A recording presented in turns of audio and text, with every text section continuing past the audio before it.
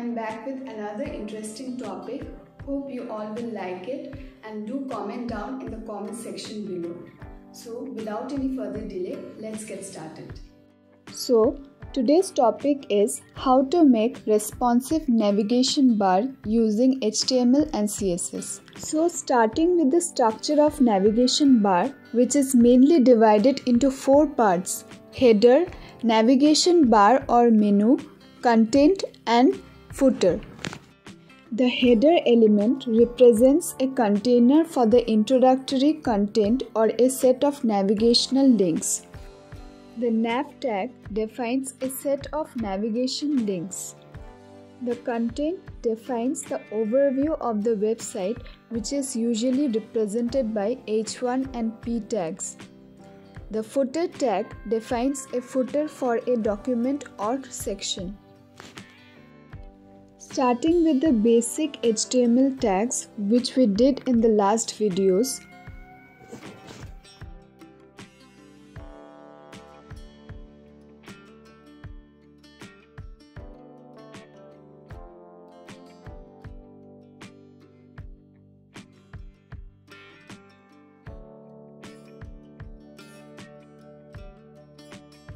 Here, within the body tag, we are using div tag.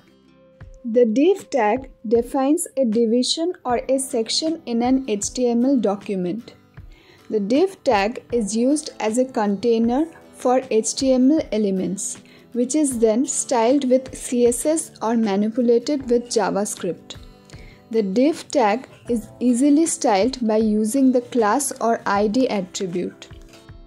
Any sort of content can be put inside the div tag. Here, I am using first div tag as header and second div tag as nav. Within nav tag, there is the list of navigation links options which is represented by li tag within ul tag, unordered lists.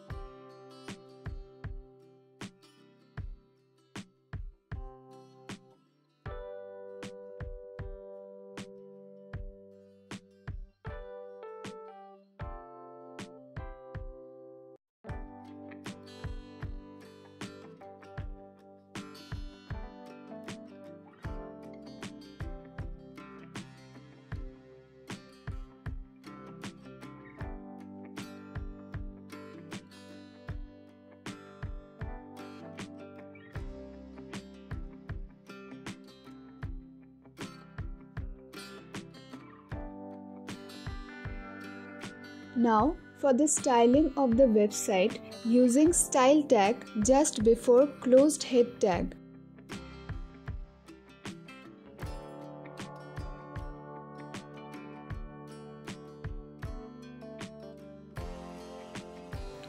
Starting with header tag.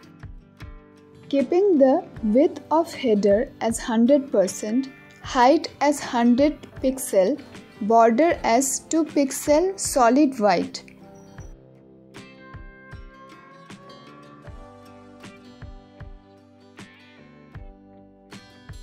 You can also choose background color of your choice.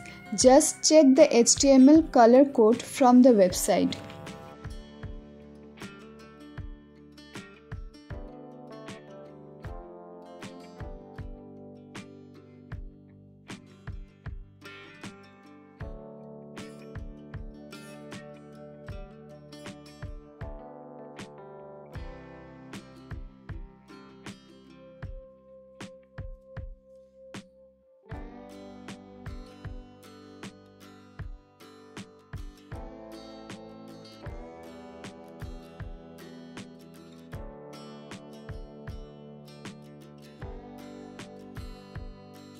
Repeating the same steps for nav bar.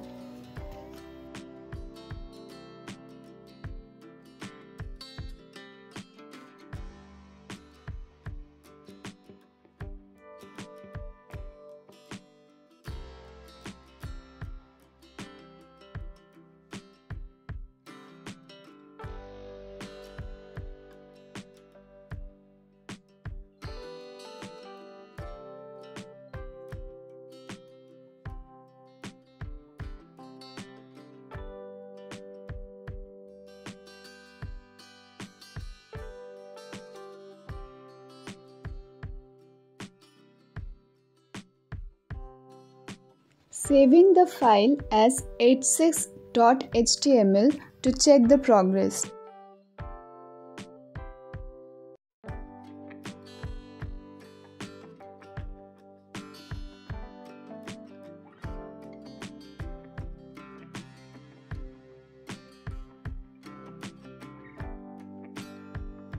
Now coming to the styling of the list. Keeping the list style type as none as it removes the bullets. A navigation bar does not need list markers.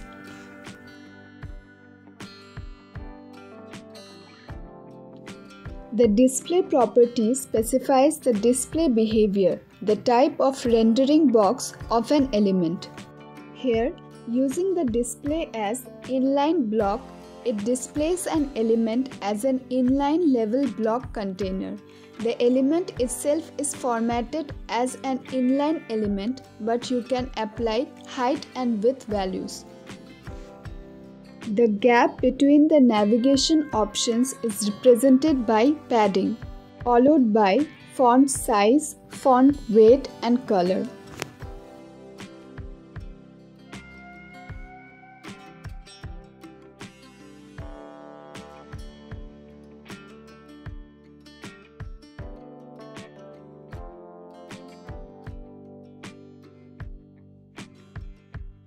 Now, last but not the least, hover. The hover selector is used to select elements when you mouse over them. The hover selector can be used on all elements, not only on links.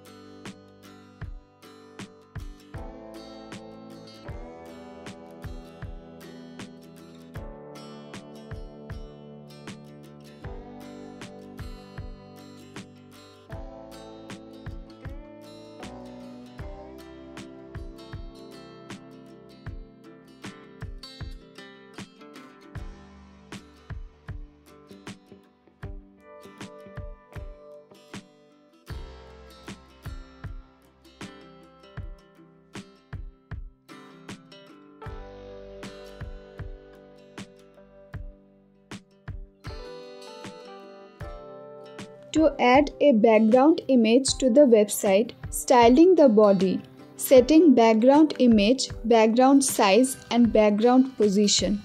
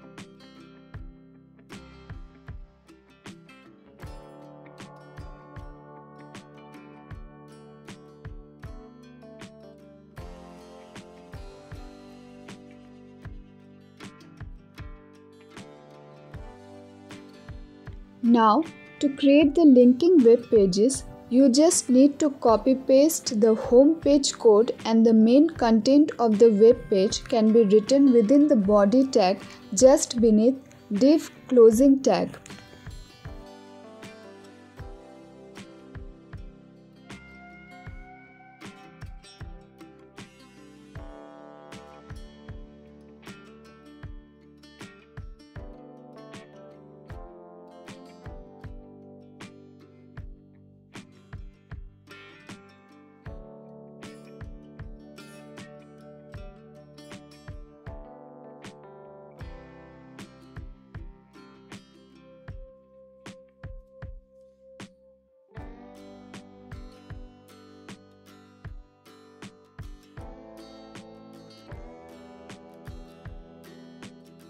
Don't forget to insert the link of the web pages in the div part to make the page responsive.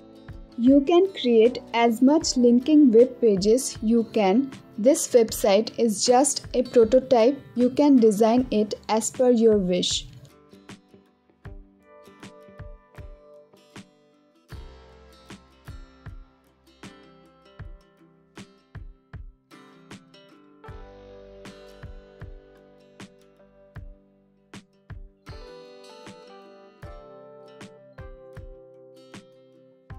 So that's it for today.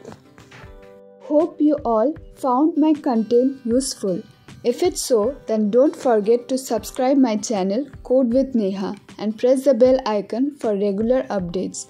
See you in the next video. Till then, stay safe, stay happy.